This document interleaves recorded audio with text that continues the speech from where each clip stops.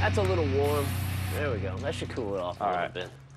All right, you got it there? Yeah, I think Clean so. up some of the drippage? Cool.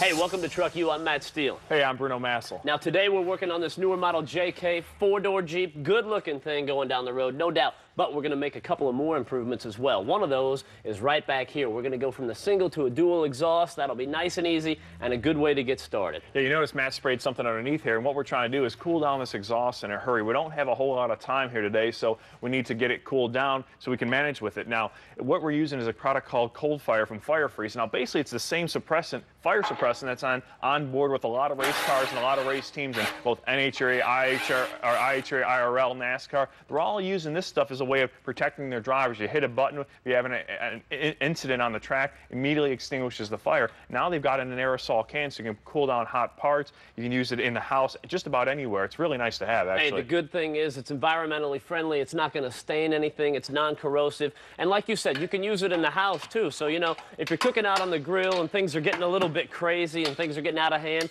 boom, you just hit it with the cold fire and cool everything down. yeah, hold on, we get this hanger. Just like this. Now that we're up here underneath the hood, it's a good time to add this. This is MotorMax. It's a cooling system booster. It's from the same guys at Fire Freeze. Now, we used that cold fire a little bit earlier on the muffler.